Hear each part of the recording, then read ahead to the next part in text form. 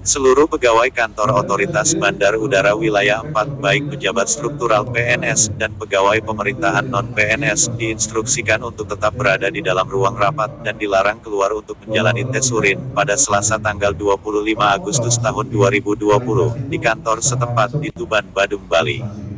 Tampak, seluruh pegawai secara bergantian mengambil sampel urin, didampingi oleh petugas medis dari laboratorium klinik Denpasar.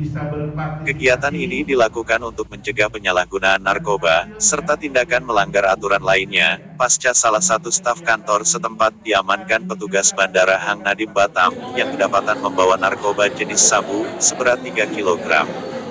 Pimpinan kantor setempat mengingatkan dengan tegas bahwa sebagai aparatur sipil negara, harus tetap mengikuti prosedur yang ada, dan bisa membedakan antara kepentingan kantor serta kepentingan pribadi, dan berhati-hati menggunakan identitas kantor seperti halnya seragam kedinasan. Kegiatan tes urin ini dilaporkan langsung ke Direktorat Jenderal Perhubungan Udara Kementerian Perhubungan. Dan hasilnya kegiatan ini bukan hasilnya ya, dan kegiatan ini hari ini juga akan dilaporkan kepada Bapak Dirjen bahwa kita telah melaksanakan arahan dari Pak Dirjen untuk melakukan kegiatan tes narkoba ya gitu. jadi dari saya itu saja kalau nanti teman-teman semua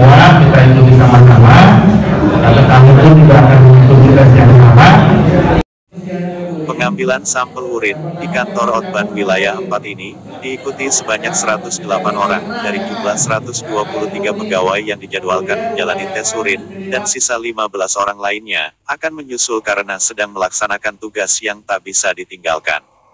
Sampel urin diuji di laboratorium dan masih menunggu hasilnya. Jika nanti dari hasil tes urin, ditemukan pegawai yang positif memakai narkotika, pihak Otban setempat akan menindaklanjutinya sesuai dengan aturan yang berlaku.